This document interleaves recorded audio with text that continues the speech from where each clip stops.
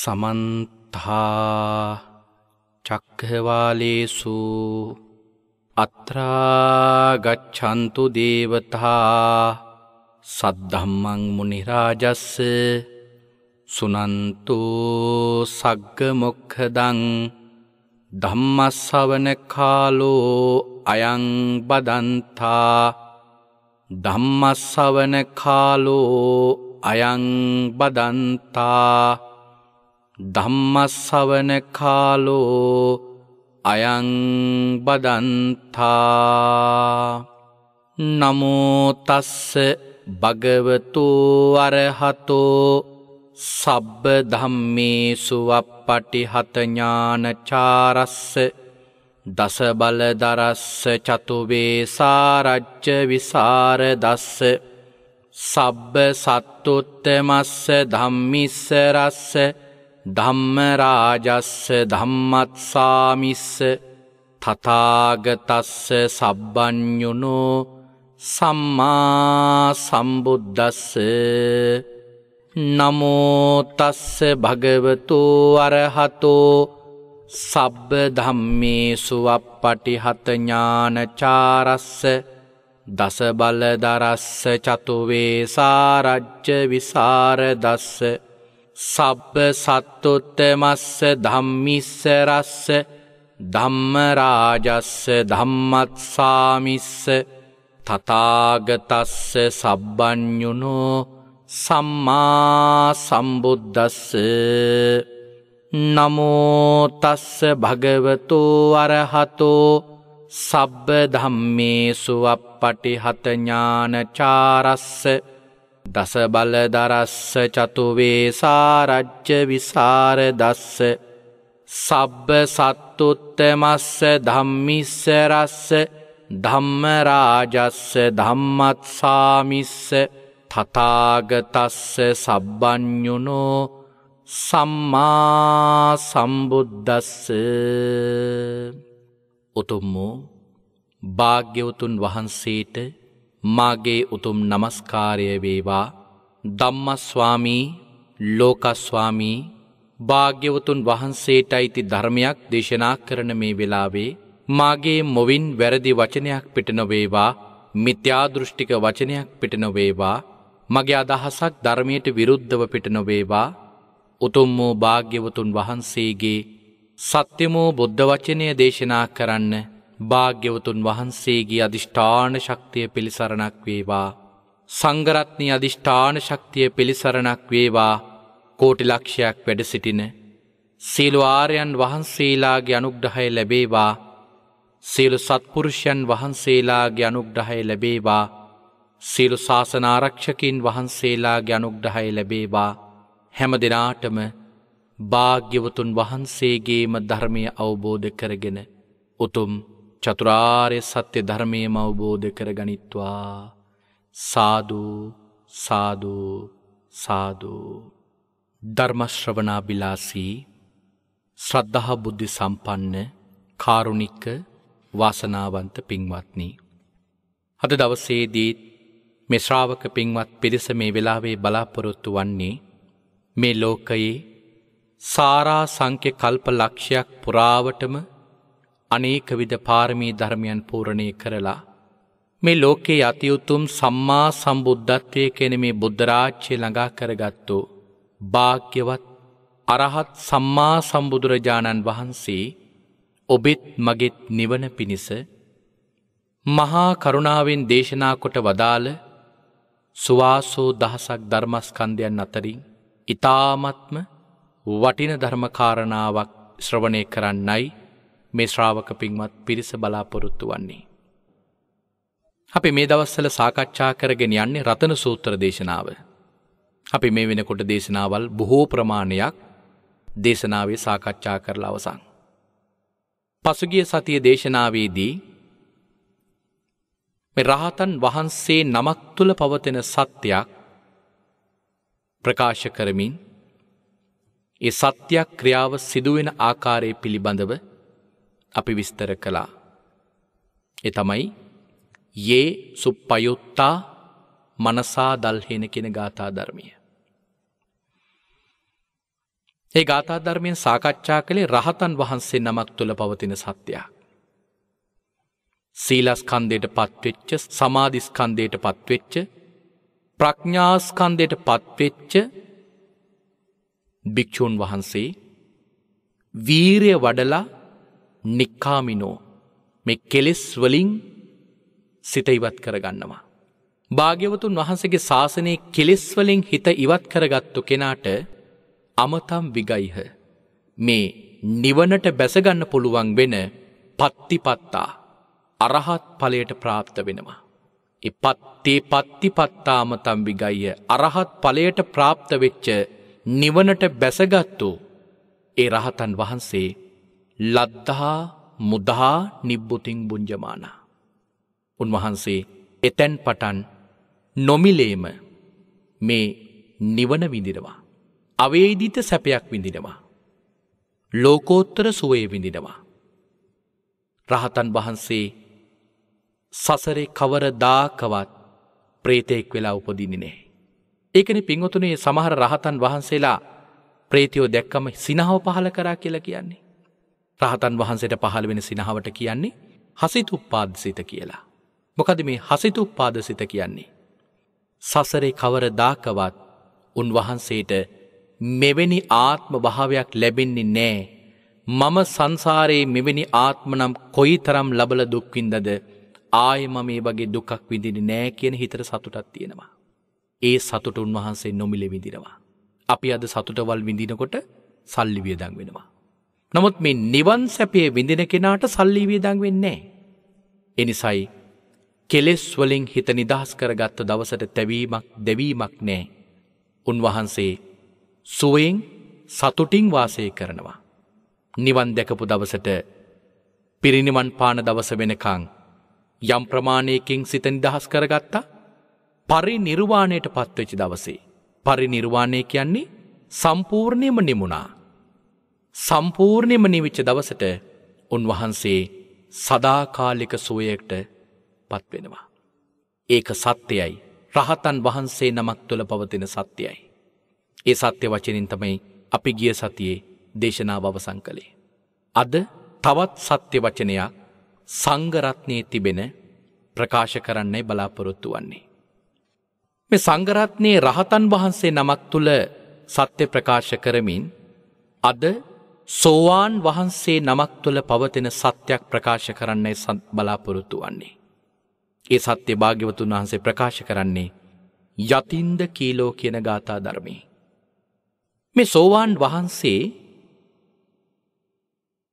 යතා කියල කියන්නේ උපමාවකට කියන වචනයක්. දැන් අපි යම් උපමාවක් කියනවා කියන අර්ථය ගත්තොතින් යතා කියල කියනවා. යතා ඉන්ද කීලෝති යතින්ද කීලෝ. මේ ඉන්ද්‍රකීලයක් කියල කියන්නේ යම්කිසි නගරයක නගරත් ద్వාරයේ ආරක්ෂාවට තියෙන ස්තම්භයක්. ඒක උම්මාර බන්තරය කියල සඳහන් කරලා තිබෙනවා නගරයට බොහෝම ආසන්නව තමයි තියෙන්නේ. මේ ඉන්ද්‍ර කියලයක ස්වභාවය තමයි පින්වත්න නගරය හාත් පසිම් ආරක්ෂා කරනවා. නගර උපම සූත්‍ර දේශනාවේදී භාග්‍යවතුන් වහන්සේ මේ කාරණාව විශේෂයම දේශනා කරලා තියෙනවා. මේ ඉන්ද්‍ර කියලේ පෙන්වතුනි බොහොම ශක්තිමත්. කිසිම කෙනෙකුට කිසිම ආකාරයකට සොලවන්න පුළුවන්කමක් ලැබෙනි නැහැ. ඒක සාමාන්‍යයෙන් අට්ටවා දසවා හත්තේ පටවින් කනිත්වා. රියං අටක් දහයක් අඩුම වශයෙන් පෘතුවිය හාරල යටට ඒ ස්තම්බේ දාලතියෙන්නේ. මේ ඉන්ද්‍රකීලය මනාකොට මැදල තියෙනවා. සුදු පිරියම් කරලා මේ ඉන්ද්‍රකීලේ මනාකොට මැදල තියෙනවා. එකට හේතුව තමයි සතුරු බලවේගයක් ඇවිල්ලා යම් විටක මේ ස්තම්බයට ඇතෙක් කැවිල්ල ඇන්නොත් ඇතාගේ දළ වැදිලා ඒ ස්තම්බෙන් ලිස්සල යන්න පුළුවන්. මොකද භාග්‍යවතුන් වහන්සේ නගරපොම සූත්‍ර දේශනා විදි පවා දේශනා කරලා තියෙන්නේ යම් නගරයක අවසානයටම විනාස වෙන අංගය තමයි මීන්ද්‍ර කීලය. නගරේ සියල්ලක්ම විනාශ කළ එවරුණයෙන් පස්සෙදි තමයි මේ ස්තම්බේ විනාශ කරන්න සතුරු බලවේගෙට පුළුවන්කමක් ලැබෙන්නේ. ඒ තරම්ම පින්වත්නි මේ ස්තම්භය ශක්තිමත්. මේ ස්තම්භය කිසිම කෙනෙකුට පින්ඔතුනි සොලවන්නවත් කිසිම කෙනෙකුට විනාස කරන්නවත් පුළුවන්කමක් ලැබෙන්නේ නෑ. එනිසා කියනවා යතින්ද කීලෝ යම් උපමාවකින් කියනවනම් ඉන්ද්‍රකීලයක් වගේ.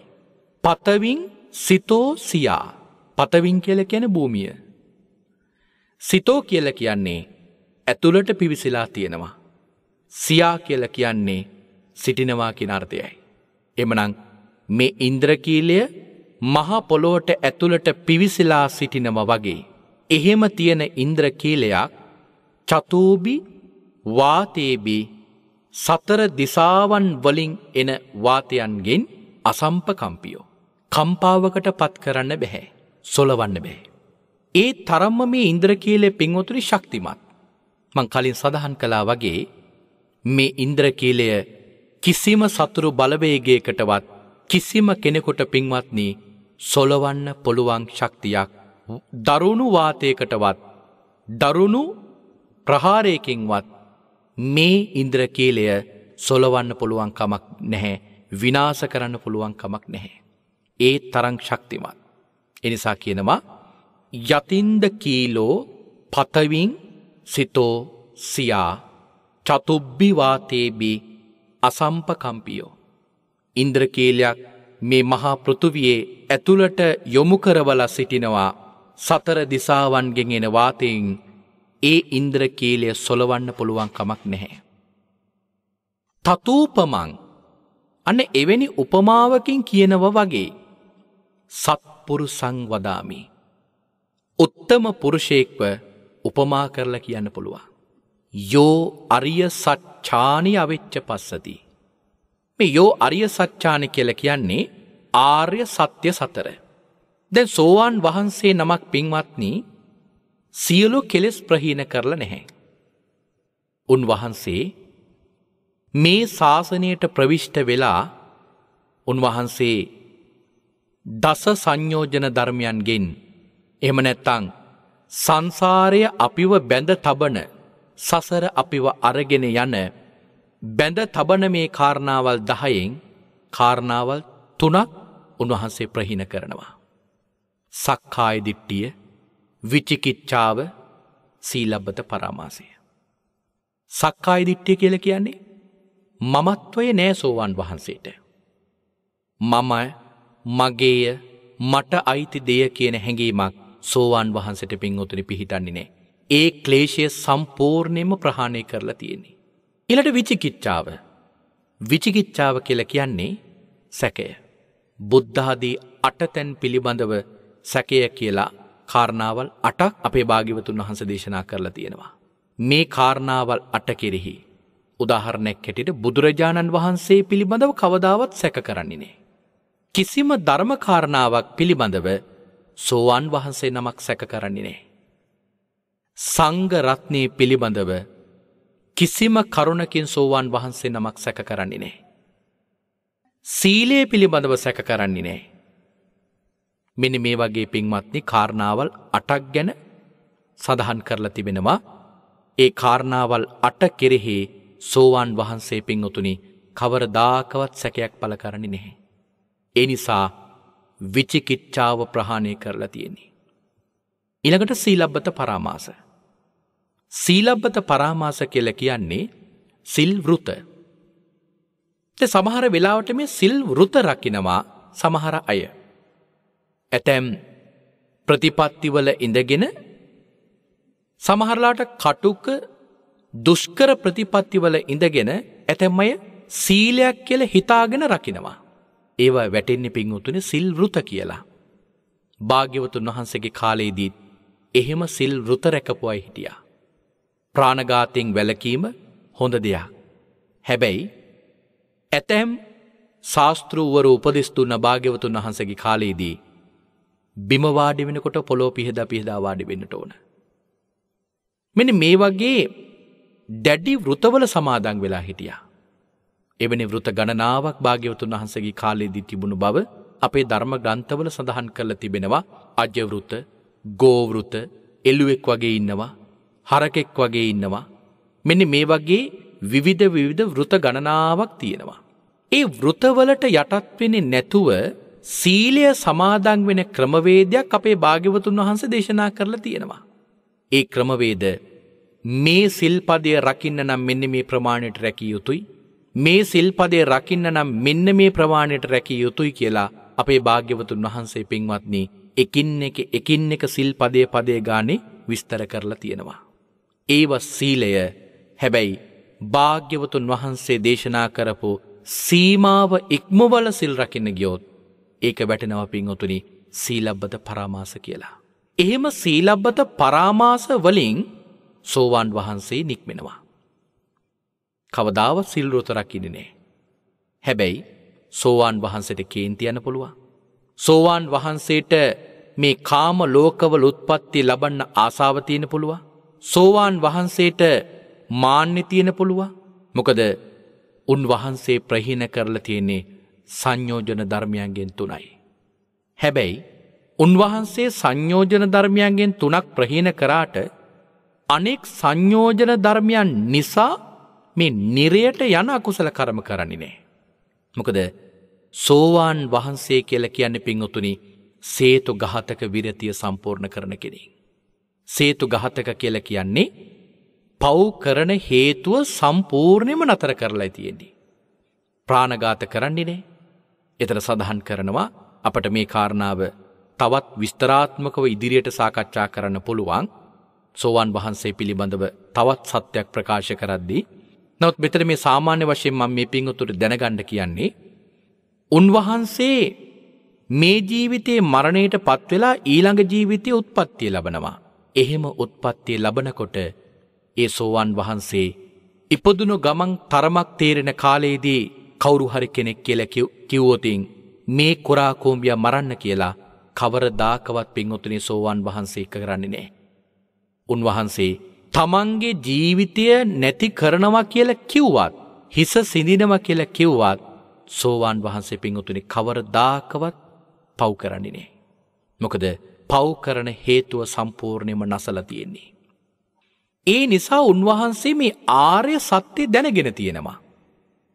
එනිසයි කියන්නේ යෝ අරිය සච්චානි මේ ආර්ය සත්‍යය සතර පිළිබඳව අවිච්ච පස්සති. මේ ආර්ය සත්‍යය සතර පිළිබඳව ප්‍රඥාවෙන් විනිවිධ දැකල තියෙනවා. එනිසා කියනවා යෝ චත්තාරි අරිය සච්චානේ පඤ්ඥාය අජ්ජෝගාහෙත්වා පස්සති. යමෙක් ආර්ය සත්‍ය සතර ප්‍රඥාවෙන් ඇසු ඇතුළට බැසගෙන දකිනවනම්. එහෙම නැත්තං විනිවිධ දකිනවනම්. එහෙමන් නැත්තැන් යම් කිසි කෙනෙක් චතුරාර්ය සත්‍යය හරියට දකිනවනම් කියන එකයි යෝ අරිය සච්චානි අවිච්ච පස්සතිී කියල කියන්නේ. මොකද මේ චතුරාර්ය සත්‍යය. දුක්ක ආර්ය සත්‍යය. දුක්ක සමුදයාර්ය සත්‍යය. දුක්ක නිරෝධාරය සත්‍යය දුක්ක නිරෝධගාමිනි පටිපදා ආර්ය සත්‍යය. සෝවාන් වහන්සේ මේ චතුරාර්ය සත්‍යය පිළිබඳව අචල ප්‍රසාධයක් තියෙන්නේ. මොකද මේ අචල ප්‍රසාදය කියල කියන්නේ කවර දාකවත් කිසිම දවසක වෙනස් වෙන්නේ නැති ශ්‍රද්ධාවක් තියෙන්නේ. කිසිම කෙනෙකුට මේ ආර්ය සත්‍ය සතර පිළිබඳව තියෙන පැහැදීම සෝවාන් වහන්සේට පින්වතුනි නැති කරවන්නට බැහැ කිසිම කෙනෙකුට. මේ ආර්ය සත්‍ය සතර පිළිබඳව අපි මේ රතන සූත්‍ර දේශනාව කතා කරන්නේ සුත්ත නිපාතේ. සුත්ත නිපාතේම පින්වතුනි මුල තියෙනව සූත්‍රයක් කුමාර ප්‍රශ්නය කියලා එක්තරා සූත්‍ර දේශනාවක්. කුමාර ප්‍රශ්නය කියල කියන මේ සෝපාක හාමුදුරුවන්ගෙන් භාග්‍යවතුන් වහන්සේ යහපු ප්‍රශ්නය. ඒ අතර මේ චතුරාර්ය සත්‍යය පිළිබඳව පින්ඔත්තුනී විස්තරයක් දේශනා කරලා තියෙනවා. ඉතිං අපි හරිනං ඒ සූත්‍රය සාකච්ඡා කරලා ඕන මේ රතන සූත්‍රය සාකච්ඡා කරන්න මොකද භාග්‍යවතුන් වහන්සේ ධර්මය ඉගෙන ගන්න කියලතින අපට පිළිවලට. කවුරු හරි කෙනෙකොට මේ ත්‍රිපිටකය කියවන්න ඕනේ කියලා කියනවනං ඒ කෙනා පින්ඔතුනි ත්‍රිපිටකය කියවන්නට ඕන මුලඉඳලා. මුලඉඳල කියල කියන්නේ දීග නිකායේ පලවෙනි සූත්‍ර ඉඳල තමයි දේශනාවල් කියවන්නට ඕන. එහෙම දේශනාවල් කියවගෙන යනකොට කවදාවත් පින්වත්නේ අතරමග දේශනාවල් වලදි ගැටලු ඇති වෙන්නේ. මොක දැන් මෙතන දේශනාවේ චතුරාර් සත්‍ය පිළිබඳව පැහැදිලි කිරීමක් දීර්ගව කරලනේ. එකට හේතුව තමයි මීට කලින් තියෙන සූත්‍රයේදී ඒක විස්තර කරලා තියෙන නිසා. නමුත් අපි අද මෙතන සාකච්ඡා කරන්න බලාපොරොත්තු වන්නෙත් නැහැ. මොකද ඒ දේශනාවත් අපේ මේ දේශනාවකට එකතු කරගත්තුතින් දේශනාව තවත් දීර්ග වෙන නිසා. නමුත් මම සඳහන් කළේ යමෙක් දුක්කමොකක්ද දුක ඇතිවීමට හේතුවමොකක්ද මෙන්න මේ චතුරාර්ය සත්‍යය පිළිබඳව නොසෙල්වෙන ශ්‍රද්ධාවකින් අවබෝධ කරගෙන තියෙන වනං. ඒ සෝවාන් වහන්සේ. ඒ සෝවාන් වහන්සේ චතුරාර්ය සත්‍යය පිළිබඳව ඇතිකරගත්තු පැහැදීම. පිංඔතුනි හරියට ඉන්ද්‍ර කීලයක් වගේ ශක්තිමත්. කිසිම දේකින් කම්පා කරවන්නට බැහැ ඒ ආර්ය සත්‍ය පිළිබඳව කිසිම දේකින් පින්ඔතුනි සොලවන්නට බැහැ. එනිසා කියනවා යස්මා සෝපි ඉන්දකීලෝවිය චතෝ හිවාතේහි යම් හේකින් ඉන්ද්‍ර කීලියක් වගේ සතරවාතියකින් එකයන්නේ සියලු වාදයන්ගෙන් නොසෙල්වෙන ශ්‍රද්ධාවක් සොවන් වහන්සට තියෙන්නේ. කිසිම තර්කයකින් කිසිම වාදයකින් පිංහොතුනි සෝවාන් වහන්සේව බිඳින්න බෑ. ඒ ශ්‍රද්ධාව සොලවන්න පුළුවන්කමක් නැහැ. එක සත්‍යයක්.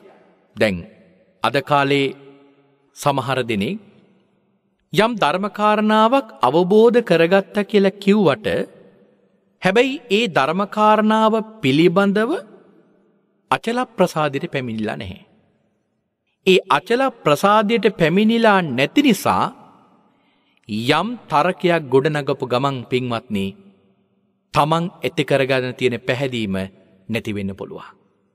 එකනේ සමහර කාලවලදී අපි දැකල තියෙනව සමහර අය යම් කාලෙකද යම් දේශනාවක් අහනවා ඒ දේශනාව අහන කාලයේදී ඒ දේශකයාණන් වහන්සේ පිළිබඳව ශ්‍රද්ධාවකින් කටයුතු කරනවා. තමන්ට හිතෙනවා තමන් දැන් නිවැරදි සත්‍යය මොකක්ද කියන එක හොයාගන්න පුළුවන් තැනට තමන් ප්‍රසි ප්‍රවිෂ්ට වෙලා තියෙනවා කියලා. එහෙම කියන කෙනෙක් තවත් කාලයක් යද්දී තවත් තෙරුන් වහන්සේ නමක් ළඟට ගිහිල බණහනවා. එතකොට අර ස්ථානය අත්හැරලා තව තැනකට යනවා එතනට ගියාම හිතනවා මං මෙච්චර කාලයක් රැවටුනා දැන් තමයි මට හරිදේ ලැබුණ කියලා. කාලයක් එතනත් තමන්ගේ මාර්ගය තමන් පුහුණු කරනවා. නමුත් එතනත් අත්හැරලා තවත් කොහේ හරි තැනක හොඳයි කෙළ හිතුනොතින් එතනටත් යනවා. මෙහෙම ගිහිල්ල ගිහිල්ල ගිහිල්ලා බොහෝ දෙනෙක් පින්වතුනි අද යම් යම් තැන්වලට ගිහිල්ලම මේ ධර්ම මාර්ගයෙන් පිටගිහිල්ලා භාග්‍යවතුන් වහන්සේගේ ධර්මය හොයන්න ගිහිල්ලා තමන්ගේ මනස බොහෝසෙයින්ම අවුල් සහගත තත්ත්වයකට පත් කරගෙන තියෙනවා. ඇයි අපට පින්වතුනි භාග්‍යවතුන් වහන්සේගේ නිවැරදි ධර්මය අපි ළඟ තියෙද්දී. භාග්‍යවතුන් වහන්සේගේ නිවැරදි දේ අපි ළඟ තියෙද්දී. අපි සොයන්නේ බලන්නේ විමසන්නේ නැතුව නොයෙක් නොයෙක් නොයෙක් නොයෙක් තැන්වලට ගිහිල්ලා ධර්මය හොයාගෙන යනවා. එහෙම ගිහිල්ලා තමන්ටම කලකිරෙනවා මං මෙච්චර කාලයක් මේ තැන්වලට ගියා මං මෙච්චර කාලයක් මේ දේ වැඩුවා මං මෙපමණ කාලයක් සිල්රැක්ක මං මෙපමණ කාලයක් දන්දුන්න මං මෙපමණ කාලයක් භාවනා කලා නමුත් කෝ මගේ සිත වැඩුන්නෑ කියලා සමහර දෙනෙක් පසුතැවිල්ලට පත්වෙනවා. සමහර දෙනෙක් තමන් මාර්ගඵල ලැබුවා කියලා රැවටිලා ඉන්නවා. මේ දෙකටම හේතුව තමයි භාග්‍යවතුන් වහන්සේගේ නිවැරදි ධර්මය සොයාගෙන නොයෑමේ ප්‍රතිඵලය. භාග්‍යවතුන් වහන්සේගේ හරි ධර්මය අපි හොයාගත්ත නම් හරිධර්මය කෙල කියන්නේ ත්‍රිපිටකයයි අට්ටකතාවයි කියන භාග්‍යවතුන් වහන්සේගේ බුද්ධ දේශනාවට අනුකූලවම අපි මේ අපේ මාර්ගය පිරිසුදු කරගත්තනං. අපි ධර්මය අවබෝධ කරගන උත්සාහ ගත්තනං කවදාවත් පින්ඔතුනි අපි මේ ශාසනයේ අසරණ භාවට පත්වෙන්නේ. අපිව සොලවන්න කිසිම කෙනෙකුට පුළුවන් කමක් නෑ. අපේ ශ්‍රද්ධාව බිඳින්න කාටවත් පුළුවන් කමක් නෑ. සෝවාන් වහන්සේ නමක් තුළ තියෙන ශ්‍රද්ධාව හරියට මොනවිදිය ශ්‍රද්ධාවද්ද. මාර්යටවත් බෑපින් ඔතුනි සෝවාන් වහන්සේගේ ශ්‍රද්ධාව බිදින්න. හරියට අර සූරම්බට්ට උපාසකතුමාගේ වගේ. සූරම්බට්ට උපාසකතුමා බුදුරජාණන් වහන්සේ එක්තරා අවස්ථාවකදී මුණගැහිලා උපාසකතුමා භාග්‍යවතුන් වහන්සේගෙන් කෙටි වෙලාවක් තුළ ධර්මයක් අහනවා. උපාසකතුමා බොහෝ සෙම්ම සිත සසරේ වඩල තිබුණු කෙනෙක් නිසා කෙටි වෙලාවක් ධර්මය අහනකොට මේ උපාසකතුමාට සෝවාන් පලයට පත්වෙන පුළුවන්කමක් ලැබුණා. මේ උපාසකතුමා නැවත තමන්ගේ නිවසටාව. ඒ නිවසට ආපු වෙලාවෙදි නිවසේ බුදුරජාන් වහන්සේ වැඩ ඉන්නවා. ඒ වෙලාවෙදී සූරම්බට උපාසකතුමාගෙන් අහනවා මතකද දැම්මීට මොහොතකට කලින් ඔබට මාව මුණ ගැහුණා. උපාසකතුමා කෙනවා එහෙමයි ස්වාමිනි මට මුණ ගැහුණා. මතකද මං ඒ වෙලාවේ ඔබට කියපු ධර්මය එහෙමයි ස්වාමිනි මට මතකයි. මතකද මං මේ ලෝකයේ ඔක්කොම දුකයි කියල කිව්වා. මං මේ ලෝකෙ ඔක්කොම අනිත්‍යයි කියල කිව්වා.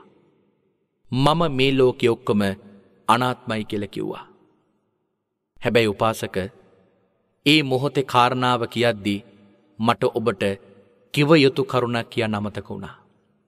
උපාසක මේ ලෝකෙ ඔක්කෝම අනිත්‍යයි කිව්වට ඔක්කොම අනිත්‍ය නෑ නිත්‍යයි කියල දේවල් ටිකක් තියෙනවා. මේ ලෝකෙ ඔක්කොම අනාත්මයි කිව්වට ඔක්කොම අනාත්ම නෑ ආත්මයි කියල දේවල් ටිකකුත් තියෙනවා. මේ ලෝකෙ ඔක්කොම දුකයි කියල කිව්වට ඔක්කොම දුකනෑ සැපයි කියල දේවල් ටිකකුත් තියෙනවා. හැබැයි උපාසක මට ඒ වෙලාව ඔබට ඒටික කියලදි නමතකුණා කිව්වා. මේ වෙලාවේ සූරම්බට්ට උපාසකතුමා ඔහුට කෙනෙකුගේ හිත බලන්න පුළුවන් ඥානයක් නෑ. මේ සූරම්බට්ට උපාසකතුමාට ඉරදිනෑ. ධ්‍යාන අභිඥා කිසිවක් නෑ. තියෙන්නේ ධර්මය අවබෝධ කරගත්තා පමණයි. හැබැයි තියෙන ශ්‍රද්ධාව මොන සද්ධාවද අච්චල ප්‍රසාදිය තියෙන්නේ. මේ ශ්‍රද්ධාව මාරයටවත් හොළවන්න බෑ පින්වත්නී සූරම්බට්ට උපාසකතුමා තමන් ළඟ ඉදිරිපිට ඉන්න බුදුරජාණන් වහන්සේගේ පැත්තට ඇඟෙල දික් කරලා කියනවා තොපිපාපී මාරයනේද කියලා. බලන්න පිංහතුනී ඒ වෙලාව සූරම්බට්ට උපාසකතුමා කොයි තරම් බර පතල අවධානමක්ද ගත්තේ. ඇත්තටම බැරි වෙලාවක්වත් ඔය හිටිය බුදු හාමුදුරුවෝ නං සූරම්බට්ට උපාසකතුමාට සසරේ කොයි තරම් දුකක් විඳින වෙනවද. නමුත් උපාසකතුමාගේ ශ්‍රද්ධාව විදින පුළුවන්කමක් නෑ. නොබියව බය නැතුව ඒ අවධහනම ගත්තේ මොකක් නිසාද හිත හොඳටම දන්නවා මේ ඉන්න බුදු හාමුදුරුව නෙවෙයි කියලා. ඇත්තටම පිංඋතන එතන හිටිය කවුද මාරයා. මාරයා බුදුරජාණන් වහන්සේගේ වේශය මවාගෙන නැවිල්ලා භාග්‍යවතුන් වහන්සේ කියන විදියට උපාසකතුමා රවට්ටන උත්සාහ කළා. නමුත් උපාසකතුමා හිත වෙනස් කරගත්තිනේ. එහෙනම් පින්වතුනි මේ කාරණාවෙන් තේරෙනවා අපි ශ්‍රද්ධාව මොන මට්ටමකට තියාගන්න දියුණු කරගන්න ඕනද කියලා. නමුත් අද බලන අපේ ශ්‍රද්ධාව කොයි තරම් වෙනස් වෙනවද. අන්නේ වෙනස්වීම පිළිබඳව සංයුක්තනිකායේ පහේ දෙක පොතේ තුන්සේ දෙවෙනි පිටුවේ ඉන්ද කීල සූත්‍රය කියලා සූත්‍රයක මෙනි මෙහෙම සඳහන් කරලා තියෙනවා. යම් භික්‍ෂුවක් යකඩ ස්තම්භයක් හෝ මනාකොට හාරලා තැම්පත් කරලා තියෙනවනම්. පොලො තියෙනකොට පොළොවෙ සෙලවෙන්නේ නැතිව වගේ කම්පාවට පත්වෙන නැතිව වගේ මොනවයින්ද පෙරදිගින් හතර දිසාවෙන්ම හමන්නාවවාතයන්ගේ. ඒ ස්තම්භය සෙලවෙනි නෑ වගේ මහනෙන යම් සෝවාන් ආර්යශ්‍රාවකෙකුගේ සිත මේ ලෝකයේ සමනේනවා බ්‍රාක්්මණේනවා කේනචිවා. කිසිම ශ්‍රමණයකොටවත් කිසිම බ්‍රාක්්මණයකොටවත් කිසිම කෙනෙකොට එක සොලවන්න පුළුවන් කමක් ලැබෙන්නේ. මොකද යම් කිසි ශ්‍රමණය කර බ්‍රාහ්මණය කරි මේ තමා දුක මේ තමා දුකට හේතුවෙන මග මේ තමා දුකට දුක නැතිකිරීමේ ක්‍රමය මේ තමා දුක නැතිකිරීමේ ප්‍රතිපදාව කියල කිව්වම ඒ ශ්‍රමණයාගේ වචනය නිසා හෝ ඒ බ්‍රාහ්මණයගේ වචනය නිසා හෝ ඔහු කිසිම ආකාරයකට හිත කම්පාවකට පත් කරගනිනේ. දැන් අද කාලේ යම්කිසි තැනකට ධර්මය හොයාගෙන යනව කියල යනවා. නමුත් කාලයක් ඒ තැන ධර්මය පුහුණු කරලා තවත් කාලයක් යද්දි ආරංචි වෙනවා මේ තැනට වඩා මෙනි මෙතන හොඳයි කියලා අහල තියෙනවා කියලා. එම නැත්තං කවුරු කවුරු හරයවිල කියනවා. එහෙම කියනකොට මෙතන ධර්මය පුහුණු කර කර හිටපු කෙනා එතනට යනවා. එතනත් තව කාලයක් ඒ විදිටම ධර්මය පුහුණු කරන්න උත්සාහ කරනවා. උත්සාහ කරනවා කාලයක් යද්දි කියනවා මේ තැනට වඩා මෙතන හොඳයි කියලා. එතකොට හිත එතනට අරගෙන යනවා. මෙන්න මේ විදියට පින්වතුනි හරියට ශ්‍රද්ධාවෙන් මේ ශාසනයට බැසගත්තු නැති ශ්‍රාවකයා බොහෝ සෙයිම්ම මෙවැනි අනුතුරුවලට පත්වෙලා සංසාරයේ තමන්ට අතට ලැබිච්ච නිවන අත්හැරලා සංසාරය බොහෝ කාලයක් දුක්විඳෙන කෙනෙක් බවට පත්වෙනවා.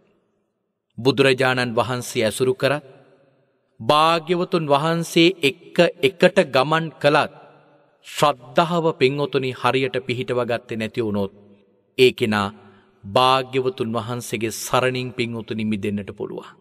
හරියට සුනක්කත්ත භික්‍ෂූන් වහන්සේ වගේ. සුනක්කත භික්‍ෂූන් වහන්සේ භාග්‍යවතුන් වහන්සේගේ ශාසනය පැවිදි වුණා. භාග්‍යවතුන් වහන්සේට මුල්කාලයේදී ස්තේර උපස්ථායකෙක් හිටියේ නෑ අවුරුදු විස්සක් යනකම්ම. ඒ කාලයේදී නොෙක් නොෙක් භික්‍ෂූන් වහන්සේලා කාලෙන් කාලෙට භාග්‍යවතුන් වහන්සේට උපස්ථාන කළා. දවසක් මෙ සුනක්කත්ත භික්‍ෂූන් වහන්සේ භාග්‍යවතුන් වහන්සට උපස්ථාන කරන කාලයේදී මෙ සුනක්කත්ත භික්‍ෂූන් වහන්සේ භාග්‍යවතුන් වහන්සේ පිණ්ඩපාතය වඩිනකොට එක්තරා නිගන්ටෙක් දැකලා සාමාන්‍යෙන් නිගන්ටයඉන්න වස්ත්‍රවත් නැතුව මුළු ශරීරයේම දැලිකුණු තවරාගෙන එහෙම තමයි ඉන්නේ. මෙන්න මෙහෙම ඉන්න මේ නිගන්ටය දැකලා සුනක්කත්ත භික්‍ෂුවට හිතෙනවා මේ ඉන්නෙත් එක්තරා රහතන් වහන්සේ නමක් නේද කියලා. භාග්‍යවතුන් වහන්සේ මේක දැකලා අහනවා සුනක්කත්ත නුබ හිතන්නේ නුබ මේ ශාසනය කෙනෙක්ද කියලා. එහි මැවුවෙන් පස්සෙදී සුනක්කත් හාමුදුරු භාග්‍යතුන් වහන්සේගෙන් ඇයි කියලහනවා. භාග්‍යතුන් වහන්සේ ඇයි හෙම කියන්නේ කියලහනවා. එතකොට භාග්‍යවතුන් වහන්සේ කියනවා නුබාර ඇඳුම් නැතිවන්න අචේලක නිගන්ටය දැකලා මේ ඉන්නෙත් රහතන් වහන්සේ නමක් නේද කෙළ හිතුව කියල කියනවා. ඒ වෙලාවෙදී සුනක්කත්ත භික්‍ෂූන් වහන්සේගේ පිළිතුරුණේ ඔබ වහන්සේ රහත් බවට ලෝබයිනීද කියලහනවා. තවත් කෙනෙක් රහත්වෙනවට කැමති නෑනේද කියලහනවා. බලන්න පින්වතුනි භාග්‍යවතුන් වහන්සේගේ ශාසනයේ මහන වෙලා භාග්‍යවතුන් වහන්සේගේ ශාසනයෙහි භාග්‍යවතුන් වහන්සේට උපස්ථාන කරමිනුත් භාග්‍යවතුන් වහන්සේත් එක්ක එකටම වැඩ ඉඳගෙනයි භාග්‍යවතුන් වහන්සේ පිළිබඳව එවැනි සිතුවිල්ලක් සුනක්කත්ත හාමුදුරන්ට හිතුනේ. අද පමණක් නෙවෙයි භාග්‍යවතුන් වහන්සේ සංසාරයේ පාරමිතා පුරද්දි පවා පිංගුතුනි සුනක්කත් හාමුදුරු භාග්‍යවතුන් වහන්සේත් එක්ක එකටමයි ඇවිල්ල තියෙන්නේ. එකටමයි භාග්‍යවතුන් වහන්සේත් එක ඉපදිලා තියෙන්නේ. සමහර ආත්මයන් වල සහෝදරයෙක් වෙලා ඉපදිලා තියෙනවා. හැබැයි ඒ ඒ ලැබිච්ච ජීවිතයන් වලදි පවා භාග්‍යවතුන් වහන්සේට කරදර කරලයි මෙ සුනක්කත්ත හාමුදුරුව තියෙන්නේ. බූරිදත්ත ජාතකයේ පවා ඒ කාරණාවල් විශේෂයම සඳහන් කරලා තියෙනවා. නමුත් බම් මේ කතාව කිව්වේ පෙන්ගොතුනේ අපිත් අද බණ අහනවා සිල් ගන්නවා අපි අද භාවනා කරනවා නමුත් පිඟුතින අපට හිතෙනවද අපි දැම් භාග්‍යවතුන් වහන්සේ කියපු මට්ටමින් යම් ප්‍රමාණයක්වත් දියුණු වෙලා තියෙනවා කියලා. අපි ඇත්තටම දියුණු වෙලාද කියලා අපට බලන්න මිනුම් දණ්ඩයක් නැහැ. ඒක බලන්න පුළුවන් මෙන්න මෙවැනි ධර්මකාරණාවල් අහද්දී අපේ ශ්‍රද්ධාව කොයි මට්ටමක තියෙනවද කියලා පරීක්ෂා කරල බලන්නට පුළුවන් නම් පිංඔතුනි අන්න අපි කොච්චර දියුණු වෙලාද කියලපට බලාගන්න පුළුවන්. නොත් මේ ලංකාව අපි නං මංහිතන්නේ අපි එදිනෙදා ජීවිතයේ ඇවිදිනකොට සමාජයේ හැසිරෙනකොට සමාජය එකිනෙකා මිනිස්සු කතාබහ කරනකොට මම නං හිතන්නේ නෑ අපි ඒ තරම්ම දියුණු තත්ත්වයකට ඇවිල් ඉන්නවා කියලා. අඩුම තරමේ සංස්කෘතිමය වශයෙන්වත් මංහිතන අපට සංස්කෘතිමය වශයෙන්වත් දියුණුවෙන්න තවත් බොහෝ කාලයක් යන්න තියෙනවයි කියලයි අපේ සමහර හැසිරීම් රටාවල් වලින් අපට පේන්නේ. කෙනෙකු කතාබහ කරද්දි. තවත් කෙනෙකුත් එක ගණු දෙනු කරද්දි. සමහර වෙලාවට සමාජයෙන් තමම් බලාපොරොත්තුවෙන දේවත් සමාජයට තමන්ට ඉටු කරගන්න පුළුවන්කමක් නෑනේ. ඇයි එහෙම වෙලා තියෙන්නේ. ඒ තත්ත්වයට පත්වෙලා තියෙන්නේ අපිට තවම හරියට මේ ධර්මයේ පිළිසරණ ලැබිල නැති නිසා. මං කෙටි උදාහරණයක් මෙ ධර්මකාරණාවට අදාළ නෝනත් මේ කාරණාව මම සිහිපත් කරන්නේ අපට හිතන්න පැත්තක් තීර නිසා. කෙනෙක් පොදු වැසිකිලියකට යනවා. තමන්ගේ වැසිකිලේ පාවිච්චි කරන්න යද්දි තමන් බලාපොරොත්තුවෙන් යන කෝමද. බොහෝම පිරිසිදුව තමන්ටේ අවශ්‍යතාවයන් සම්පූර්ණ කරගන්න පුළුවන් විදිට වැසිකිලේ තියෙනව දකින්න තමන් බලාපොරොත්තු වෙන්නේ. අපි හිතම තමන් පිරිසුදු වැසිකිලියකට යනවා ගෙහිල්ලා ඒ ස්ථානය නියමිත විදියට පිරිසුදු කරන්නෙත් නැතුව තමන්ගේ අවශ්‍යතාවය ඉටුකරගෙන එතිනින් ඉවත් වෙනවා. හැබැ තමන් හිතනවද ඊළඟ කෙනා එනකොටත් මම මේ බලාපොරොත්තුවෙච්ච දේ එයත් බලාපොරොත්තු වෙනව කියලා. අපට ඔහොම හිතන්න පුළුවන්න සමාජයේ වැඩ කරද්දි. අපේ පින්ඔතුනි මේ ආචාර ගෝචර සම්පන්න භාවය අපේ හැසිරීම් රටාව කොයි තරම් උසස් වෙයිද. අඩුම තරමේ අපි වැසිකිලියක් පාවිච්චි කරද්දී වතුර ගැසීමක්වත් එහෙම නැත්තං අපි වැසිකිලියක් පාවිච්චි කරද්දි අද කාලේ බොහෝසෙයින්ම දැම් බොහෝ තැන්වල තියෙන්නේ අපි කොමඩ් කියල හඳුන්වන වැසිකිලි. එහෙම වැසිකිලිවල පාවිච්චි කරනකොට එක වහන පියනත් තිබෙනවා අපට ඒ කාරය ඉටු කරගන්න තවත් යම් ප්‍රමාණයේ පියනක් කොමඩ්ඩෙකුඩ තියෙනවා. හරිනම් පින් ඔතුනි අපි පාවිච්චි කරලා ඒක වතුර වලින් පිරිසිදු කරලා එක උඩාතට හරවල ඒම තමයි එක නිසි ක්‍රමවේදී. මොකද ඊළඟ කෙනා එනකොට එක පාවිච්චි කරන්න අර වතුර ඒ ස්ථානයේ රැඳිල තිබුණොති ඒක කෙනාට අප්‍රසන්නයි. අරක වතුර එක්ක තමන් පාවිච්චි කරපු විදිටම තිබුණොති සමහරලට තමන්ගේ ශරීරයේ තින අපද්‍රව්‍ය එක ගෑවිලා තියෙන පුළුවන්. අඩුම තරමේ තමන්ගේ සමය කොටස් සමන් තමන්ගේ රෝම ඒව තියෙන පුළුවන් එතකොට අනිත් කෙනාට එක අප්‍රසන්නයි. පිංගොතුනී අපි හිතනවද ඊළඟ කෙනත් මම මේ බලාපොරොත්තු වෙච්ච දේම බලාපොරොත්තු වෙනවා කියලා. එහෙම හිතන්නේ නෑ.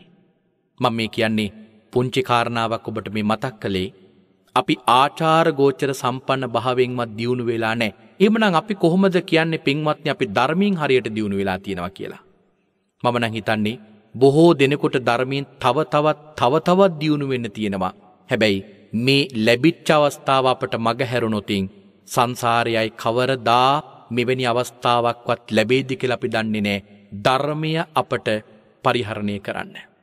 මොකද නිරේ උපදින්නේ නැතුව මේ බුද්ධෝත්පාද කාලේ තිරිසන් ලෝකය උපදින්නේ නැතුව ප්‍රේතලෝකය අරූපාවචර ලෝකය එම නැත්තං තෙරුවන් නැති රටක මිත්‍යාදුෘෂ්ටික වෙලා ධර්මයේ තේරුම් කරගන්න බැරි ප්‍රඥාවකින් අබුද්ධෝත්පාද කාලයකින් කියන මේ කාරණාවල් අටෙන් ඉපදුනානං අපට පිංඔත්තුනි මේ ධර්මය පරිහරණය කරන අවස්ථාවක් ලැබින්නේ. අඩුම තරමි බණ මොකද්ද කියලවත් අපට තේරුම් කරගන්න පුළුවන්කමක් ලැබින්නේ. අද අපිට ඔය කාරණාවල් අටිනුත් වැලකිලා අපට සසරෙ කරන ලද මහා පිනකින් මේ ධර්මය පරිශීරණය කරන අපට අවස්ථාවක් ලැබුණා. ඒ අවස්ථාව ලැබිලත් අපි පිංඔතුනි ධර්මය හරියට පරිහරණය කරන්නේ නැතුව අපි ලෞකික සැපසම්පත් පමණක්ම බලාපොරොත්තුවෙන් අපි යනවනං සංසාරෙ පිංඋතනි තවත් බොහෝ කාලයක් දුක්විඳන කෙනෙක් බවට පත්වෙනවා. එනිසා මේ ධර්මය ලැබිච්ච වෙලාවේ ධර්මය පරිශීලනය කරන්න. භාග්‍යවතුන් වහන්සේ දේශනා කරපු බුද්ධ වච්චනය මහන්න. එතනදී විශේෂයම පින්ඔතුනි ඔබ සිහියේ තබාගත යුතු කාරණාවත් තමයි බුදුරජාණන් වහන්සේ දේශනා කරපු ධර්මය අහනව කියන එක. මොකද එකනෙකාගේ මතවාද මෙහෙම තමයි නිවන් දකින්නේ.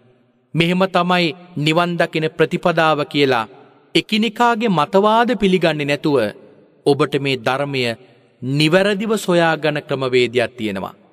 ඒ නිවැරදිව බන් ධර්මය භාග්‍යවතුන් වහන්සේගේ ධර්මයේද කියලා හොයාගන්න මිනුම් දණ්ඩක් අපි ළඟ තියෙනවා. ඒ තමයි අපේ නිවන වෙනුවෙන් භාග්‍යවතුන් වහන්සේ අනු කම්පාවෙන්ම අපට ගෙනත් දිල තියෙන මිත්‍රපිට කට්ට කතාව. සසරේ අපි කරපු මහා පින් නිසා මේ බුද්ධශාසනයක ඉපදිච්ච ශ්‍රාවකයෝ වෙච්ච අපිට අපේ නිවනට උපකාරයක් වීම පිණිසයි භාග්‍යවතුන් වහන්සේ මේ ධර්මය අධිෂ්ඨාන කළේ භාග්‍යවතුන් වහන්සේ මේ ධර්මය අපට එව්වේ. අන්න ඒ ධර්මය පිංඋතනි පරිශීලනය කරන්න. අපි සෝවාන් වෙන්නේ කොහොමද කියලා බුදුරජාණන් වහන්සේ දේශනා කරපු ක්‍රමවේද හොයන්ඩ. මම සෝවාන් වුණා මම සකුර්දාගාමි වුණා මම අනාගාමි වුණා මම අරහත් පලේ ලැබුවා කියලා කවුරුවත් ඔය සතර මග සතර පල ලබපු කිසිම කෙනෙක් පින් ඔතින ප්‍රකට කරන්නේ නෑ. අප්‍රකටව උන්වහන්සේලා වැඩඉඳගෙන උන්වහන්සේලා ලෝකයා වෙනුවෙන් භාග්‍යවතුන් වහන්සේගේ ධර්මය දේශනා කරනවා. එහෙම ධර්මය සොයාගෙන ගියොත් අපිට කවරදාකවත් පින් ඔතුනි අපි මේ ශාසනයෙන් භාග්‍යවතුන් වහන්සේගේ ශාසනින් පිට යන කෙනෙක් බවට පත්වෙන්නේ නෑ.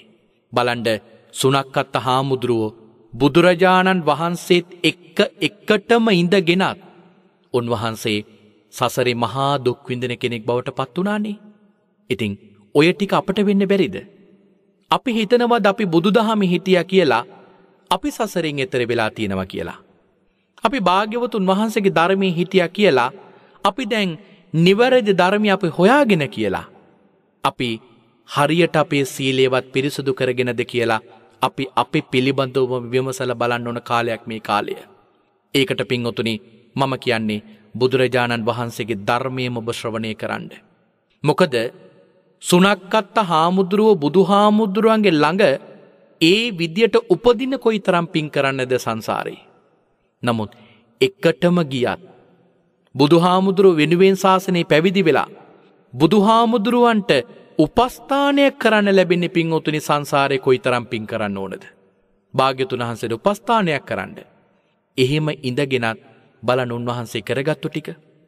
පිංහතුනි මට හිතන දෙයක් තමයි අද කාලයේදී අද භාග්‍යවතුන් වහන්සේ වැඩ හිටිය නං ඇත්තටම පින්වතුනි අපි මීට වඩා පව්කරගනී කෙළේ මට නහිතෙන්නේ.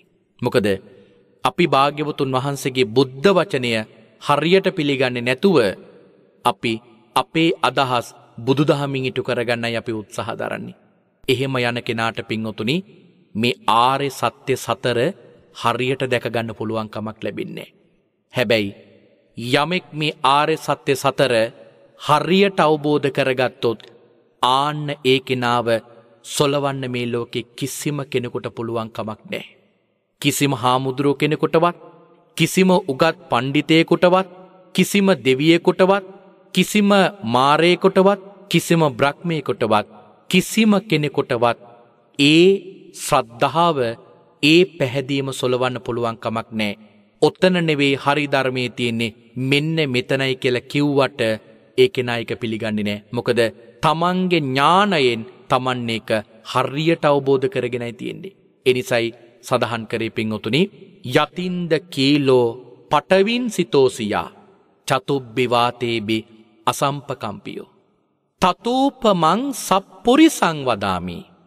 එකන්නේ මහපොළොවේ තිබෙන ඉන්ද්‍රකීලයක් සතර දිසාවන්වලින් එන වාතයන්ගෙන් සොලවන්න බෑ වගේ සත්පුරුෂයා එවැනි උපමාවකින් යුක්තයි. මොකද යෝ අරිය සච්චානි අවෙච්ච පස්සති. ඒ සත්පුරුෂයා ආර්ය සත්‍යය සතර නොවෙනස් වෙන ශ්‍රද්ධාවකින් අවබෝධ කරගෙන තියෙන්නේ.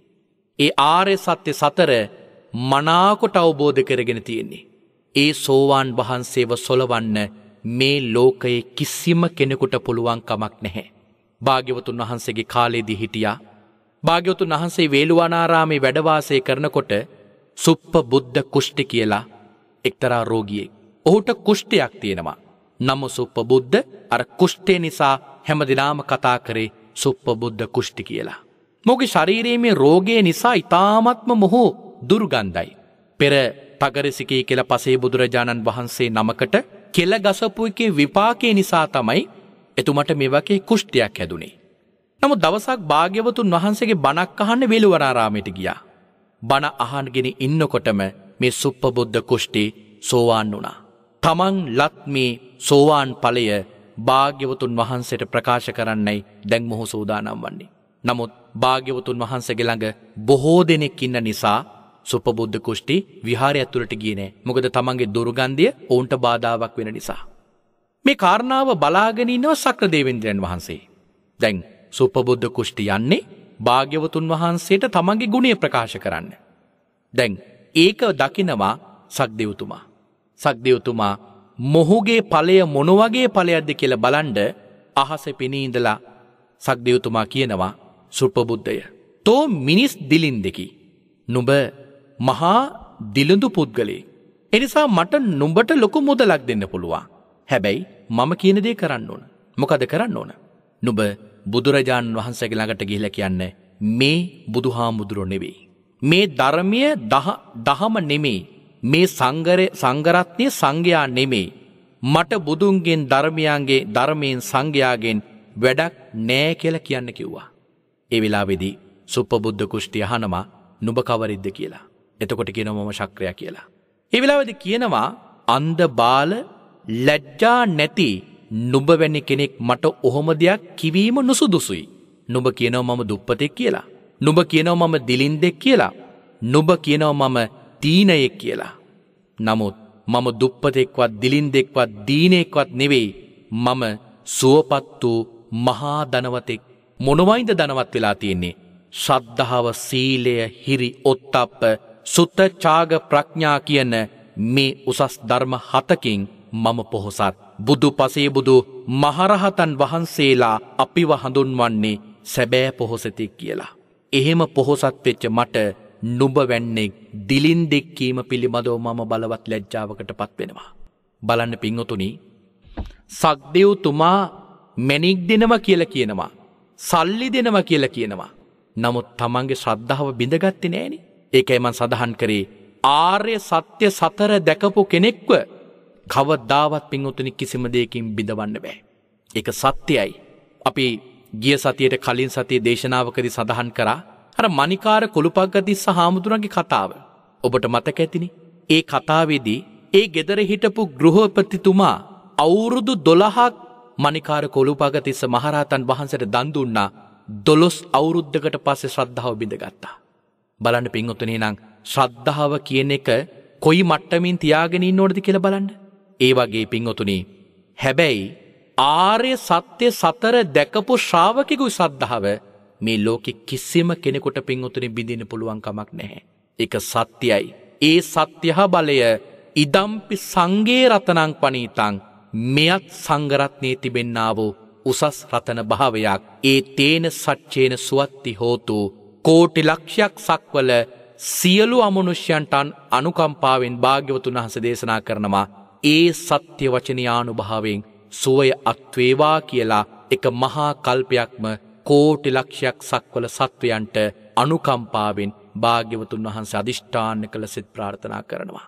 එහෙමනං අදත් කාලය අවසං වෙලා තිබෙන නිසා අපි මේ දේශනාව නිමාවට පත් කරන්නේ සූදානම් වන්නේ එමනං අද දවසේත් අපි රතන සූත්‍ර දේශනාවේ තවත් සත්‍යක්‍රියාවක් භාග්‍යවතුන් වහන්සේගේ බුද්ධ වචනෙන් දේශනා කරප සත්‍යක්‍රියාවකුයි අපි මේ වෙලාව අවබෝධ කරගත්තේ. ඒ සත්‍යක්‍රියාව තමයි සතර දිසාවන්ගෙන් හමන මහාවාතයන්ගෙන් මහපොළොවේ බැසගත්තු ඉන්ද්‍රකීලයක් නොසෙල්වෙනෝ වගේ ආර්ය සත්‍ය සතර දැකපු චතුරාර්ය සත්‍යය තමන්ගේ ප්‍රඥාවෙන් නිවැරදිව අවබෝධ කරගත්තු ආර්ය ශ්‍රාවකයාව සෝවාන් වහන්සේව බිඳවන්නට කිසිම කෙනෙකොට බෑ එනිසා කියනවා අවිච්ච ප්‍රසාදයෙන් ඒ කෙනා යුක්තයි යෝ අරිය සච්චානි අවෙච්ච පස්සති.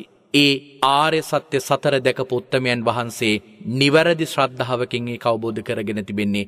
ඒ නිසා උන්වහන්සේව සොලවන්න මෙලෝකෙ කිසිම කෙනෙකුට බෑ එක සත්‍යයි. ඒ සත්‍ය වචනයේ බලයෙන් ඔබට සෝය අත්වේවා කියලා අපි මේ වෙලාවේ ආශිරුවාදය කරනවා. ආකාසට්ටහාච බුම්මට්ටහා දේවානාගා මහිද්දිකා පුඤ්ඥන්තං අනුමෝදිත්වා චිරන්රක්කන්තු සම්මා සම්බුද්ධ ශාසනං චිරන්රක්කන්තු සම්මා සම්බුද්ධ දේශනං චිරන්රක්කන්තු සම්මා සම්බුද්ධ සාවකං